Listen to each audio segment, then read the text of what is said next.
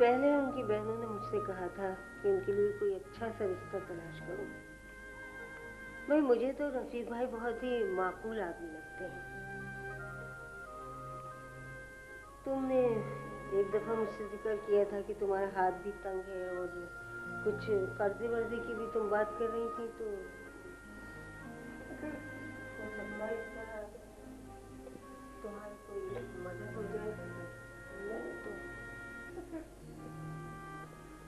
साहब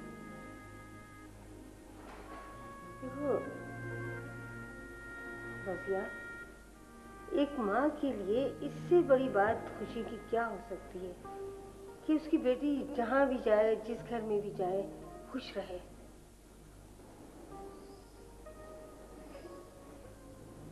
मुझे मुझे अपनी बेटी को भी तो देखना है।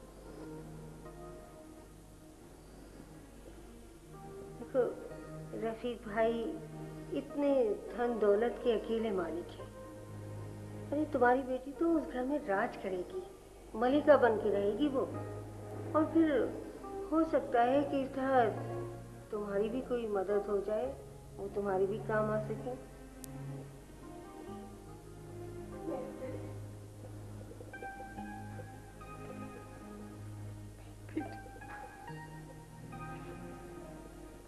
मेरी बेटी खुश रहेगी, माँ। हाँ हाँ। अरे वो कोई मसाइब का घर थोड़ा ही है। बस दो बहनें हैं उनकी जो कभी कभी आके उल्टा उनकी खिदमत कर जाती है। अरे, तुम्हारी बेटी तो राज करेगी, मालिकन बन के रहेगी उस घर में। और हो सकता है कि उसकी वजह से तुम्हारी भी दिन फिर जाए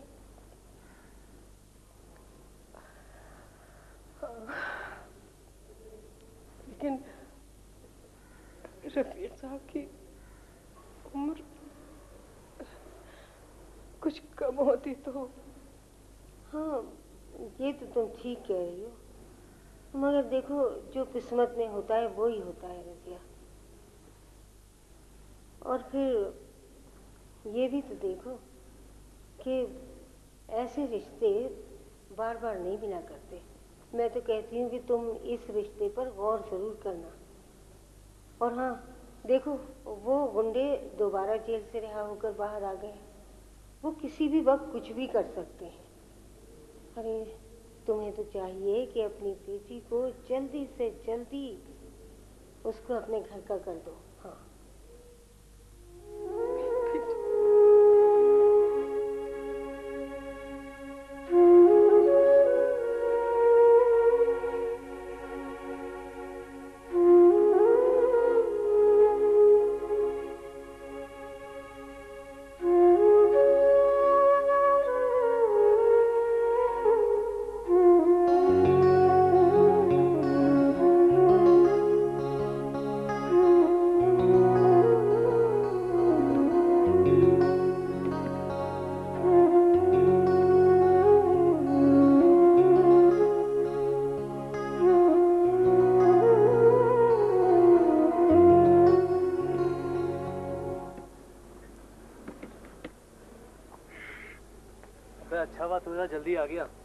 मुझे काई साहब के पास काम से जाना है।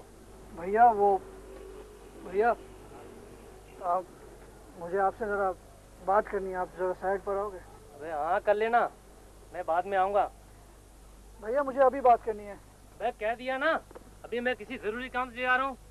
मैं जब बाद में आऊँगा तो बात कर लेना। भैया भैया ज़रा सी देर लगेगी भैया। दो मिनट की बात है भैया। तो तेरी मोटी अकल में मेरी बात समझ में नहीं आती। उनका सारा पैसा बर्बाद कर दिया अपने कपड़ों पे अपने जिसम पे ढाका करके भैया क्या मेरा कोई हक नहीं है आपसे मैं कुछ नहीं कर सकता। छोटा भाई हूँ आपका आप मेरी बात तो सुनो दो मिनट लगेंगे। भैया जरा साइड पे आ जाओ। अबे तू मेरा टाइम बर्बाद कर रहा देख रहा मैं किसी ज़रूरी काम से जा रहा हूँ। रात को आना रात को आके मुझसे बात कर लेना बस। जा जाके मुकीम के साथ जाके कहा। उसके काम में हाथ बढ़ा चल। मैंने कह दिया ना रात को आके बात करूँगा मैं।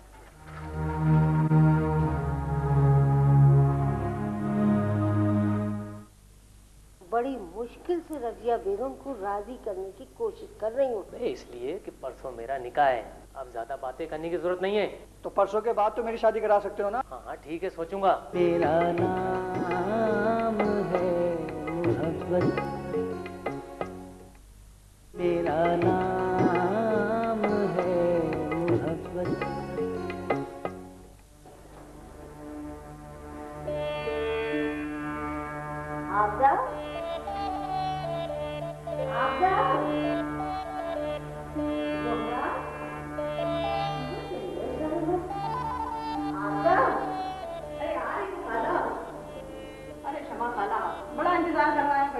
कहाँ रह गई थी अरे भाई तो क्या मैं अपना घर बार छोड़ दूँ। ये कब कहा मैंने? तुम तो खैर बिफर रही हो। बैठो। ये बताओ हमारे काम का क्या हुआ? तुम लोग तो हथेली पे सर से जमाना चाहते हो।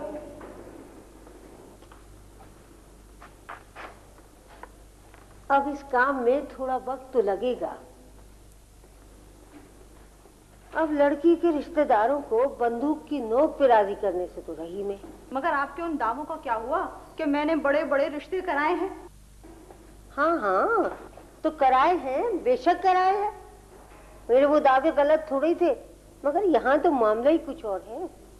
अरे बड़ी मुश्किल से रजिया बेगम को राज़ी करने की कोशिश कर रही हूँ। और हाँ सुना तुमने? अरे वो जो गुंडे थे ना कम्बात मारे वो थाने से छुट के फिर आ गए। क्या कह रही हो? मुझे इस बारे में तो कुछ भी नहीं पता। लो कर लो बात। अरे भाई ऐसे तो काम नहीं चलेगा हाँ। देखो खाला सच्ची बात है। मुझे इस बारे में वाकई बिल्कुल कोई खबर नहीं है। लेकिन खैर तुम फ़िक्र ना करो। मैं भाईजान से कह के उनको थाने की सैर ज़रूर कराऊँगी। हाँ क्या रजिया राज़ी हो गई रिश्ते के लिए? हम्म ये समझ लो करीब करीब राज़ी हो गई। लेकिन इरादे बदलते हुए देर नहीं लगती। अरे तो तुम क्यों परेशान हो रही हो?